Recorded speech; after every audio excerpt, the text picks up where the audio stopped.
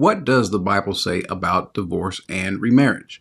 Remember, the Bible does say in Malachi that God does hate divorce. As a matter of fact, throughout the Old Testament, we see different laws concerning divorce. In particular, we see laws governing when a person commits adultery. God understands and knows better that the people that he's dealing with are completely unfaithful. Whether we're speaking about believers, Christians, or we're speaking about people who are not believers, people by and large tend to be unfaithful. And I want to use that word unfaithful for a reason because I want to see if this is the true meaning of another text that we're going to look at in a second. All throughout the Old Testament, we see God has his laws concerning divorce, as well as even laws concerning remarriage, even the things that may cause a divorce, such as adultery. So, to be clear, divorce is a sin. As a matter of fact, to be clear, getting remarried is a sin. And even more so, that's also germane to the point, having or being in an adulterous relationship is also a sin. Why is that important? Because all three of these things seem to take place throughout the economy from the Old Testament to the New Testament with God's people and even those who are not, even including people who are not believers who happen to be married to people who are believers, Christians marrying non Christians, Jews marrying non Jews. Interestingly enough, God even uses this kind of imagery when speaking to the prophet Hosea and telling him to take a woman of harlotry, an adulterous woman. And the picture of this is God being married to Israel, who is an adulterous nation. And so, what does he do? He even makes a statement about possibly or potentially divorcing Israel. But we see him being married to Israel, but not just Israel, but also the church.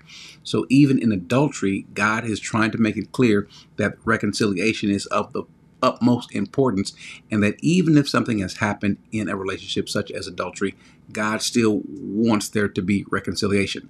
Because after all, we are the adulterous people whom God, even though He doesn't have to or probably shouldn't, he, out of His love, still reconciles us to Him. And so it should be understood that more than anything else, God would like for the two that have been joined to stay joined. But however, I said that God recognized that we are unfaithful people. And so, what happens when there has been a divorce and then that divorced couple or that divorced person wants to get remarried? Jesus says that it was never intended for a man to divorce his wife. However, he permitted it so under the old, but in the exception of infidelity in chapter 5, verse 32 of Matthew, he says, But I say to you that everyone who divorces his wife, except for the reason of uh, unchastity, which is the Greek word porneia, which is immorality, sexual immorality, makes her commit adultery. And whoever remarries or whoever marries a divorced woman commits adultery also. And then the same thing is brought up again in Matthew 19 9. And I say to you, whoever divorces his wife, except for immorality, and marries another woman, commits adultery. So the question is, after divorce, if the person remarries, does that remarriage constitute a sin? Well, sure, it does. But the question is, is that remarriage, is that an act of sin or will that be a state of sin? In other words, is this remarriage a perpetual act of sin or perpetual sin that God will hold over them forever? Or is there forgiveness and the person can live in peace as long as they have a repentant heart? In 1 Corinthians 7 8, Paul makes this statement. He says, But I say to the unmarried and to the widows, that is good for them if they remain even as I am. But if they do not have self control, let them marry, for it is better to marry than to burn it with passion. Does this include the person who is not married but has once been married? Well, let's go a little further and see. Verse 10 But to the married I give instructions, not I, but the Lord, that the wife should not leave her husband, but if she does leave, she must remain unmarried or else be reconciled to her husband. And the husband should not divorce his wife. Well, that part is clear. Verse 12. But to the rest I say, not the Lord, that, that if any brother has a wife who is an unbeliever and she consents to live with him, he must not divorce her. And a woman who is an unbelieving husband and he consents to live with her, she must not send her husband away. For the unbelieving husband is sanctified through the wife, and the unbelieving wife is sanctified through her believing husband. For otherwise your children are unclean, but now you ought to, but now they are holy. Yet if the unbelieving one leaves, let him leave. The brother or sister is not under bondage in such cases, but God has called us to peace. So the question is going to be what is meant here? What's the full understanding? Well, I want to enter in something that sometimes we may not consider that I think we may want to consider. The word here for believing, for the person in the relationship, is he speaking of a unbelieving wife? The word that's used here is the word apistos, which is unfaithful or unbelieving. The question is, is this in reference to salvation or is this referencing to the marriage? The reason why I used earlier the word unfaithful, because again, pistos means believe or faith.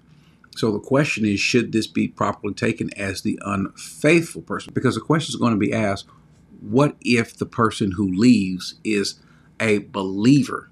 In other words, what if the person is a professed Christian? Does that ever happen? Well, sure. Again, we see all throughout the Bible there are people who are of the Lord who disobey and who are unfaithful. We can think of David. We can think of other people, possibly in the scriptures, um, that have made decisions that show that they are not totally faithful, but are still called God's children. Because again, that's just how we are naturally, even though the Spirit is working in us. And so, is it ever possible that a Christian, a believer, could leave? Well, if that's the case, then where are the scriptures pertaining to that person? So maybe it could possibly be that 1 Corinthians 7, when it's speaking of the unbelieving, it's probably better to see this or render this as the unfaithful. It's the same word, but the unfaithful. So now let's go back and look at this and see if if that makes a little bit more sense. To the rest, I say, verse 12, uh, not the Lord, that if any brother has a wife who is and who is unfaithful, again, there's that word, apiston, and she consents to live with him, he must not divorce her. So, in other words, so let's say if she has been unfaithful or he's been unfaithful, but she decides to stay, the Bible says that uh, he must not divorce her. And a woman who has a unfaithful husband and he consents to live with her. In, in other words, they agree to stay together. He should not divorce her or she should not divorce him in any way. For the unfaithful husband is sanctified through the wife. In other words, she's kept set apart, kept, he or she is kept by the one that is faithful. In this case, we're speaking about a spouse who is faithful and one who is not faithful. Now, it could be that we're also that, that, that it should be taken as unbelieving in terms of salvation. The reason why the different thought can be brought up in this because again, what about a person who is a believer who is who has sinned? This happens. All believers are going to sin in some capacity, and God knows that we are unfaithful people though God is himself faithful. And so maybe he's trying to show us a picture of his faithfulness compared to our unfaithfulness and how he still desires to have this reconciliation. Now, I don't want to get into all the different reasons for why a person might divorce. Again, the Bible seems to only give an exception for those who have been unfaithful, sexually speaking, though, though there are those who in Matthew 5 and 19 think that it's only referring to someone who is in the engagement period. I don't think that's that's the correct application. But a person nowadays, you see that these divorces, these no-fault divorces or irrecon- irreconcilable differences, those were never ever to be an exception for someone to get a divorce. Again, if you are struggling in your marriage, first and foremost, God wants there to be reconciliation. He does not like for there to be divorce. However, if there is divorce, is there forgiveness in the Lord? Sure, there is is there forgiveness, however, if a person has been divorced and then gotten remarried? Well, what about a person who's gotten divorced, gotten remarried, gotten divorced, gotten remarried, gotten divorced, and gotten remarried? What about someone who has had multiple husbands? Well, we see Jesus literally dealing with someone and showing forgiveness and reconciliation to a woman who had had multiple husbands, the woman at the well in John 4. In John 4 16, he said to her, Go call your husband and come here. The woman answered and said to him, I have no husband. Jesus said to you, said to her, You have answered correctly, I have no husband. Now, in verse 16, Jesus answers the question and says, as she answers the question, she says, I have no husband. The way she says is uk echo andra, which is to say, I have no husband. But Jesus' response in the English looks the same, but the Greek is different. He says andra uk echo. He puts the word andra, husband or man, in the front, indicating that yes, husband you do not have, and the one that you're with now is not your husband. Well, what does Jesus say? Does he condemn her? No. he still wants to be reconciled to her, even though not only has she been divorced and remarried, she's been divorced, remarried, divorced, remarried, divorced, and remarried. This is a pattern in her. And so we can still see, even in this, that there is reconciliation, and God is not holding her as a perpetual sinner after reconciliation, after repentance. And so what does she do? She understands who he is. As a matter of fact, goes and tells other people in her town, in her village, and they come back to him as well. So it should be clear that reconciliation was, with God is possible for anyone. Divorce is not a perpetual sin, nor is remarriage a perpetual sin. Should a person get divorced? Absolutely not. Should a person get remarried? Absolutely not. But if they do, it is a sin. But if they do, then what? Should that person who is remarried get divorced? from the person they're remarried? Well, again, God still does hate divorce, even the second divorce or the third divorce. You don't compound a sin, try to rectify it by by doing another sin, which is getting divorced again. Remember, there is no command in the scriptures where God tells a remarried person to get a divorce. As a matter of fact, the Bible doesn't even explicitly say that God hates remarriage. Is that remarriage a sin if it's done in the wrong way? Sure. But what does God want you to do? To be at peace and to continue in the in the order of being reconciled to Him. That's first and foremost. Now, if a person's not reconciled to Him, it doesn't matter if they're divorced, remarried, or anything, any other sin, because that sin is preeminent. That is, that you have not placed your faith in Christ and been reconciled to Him. Everything else pales in comparison. But if a person is and they've fallen, they've had struggles, they've sinned, what have you, but they are at a moment in time where they want to be reconciled, well, then, amen. God still grants that. And we look at that in, in Deuteronomy 4 as we look at some of these provisions when a person has a divorce.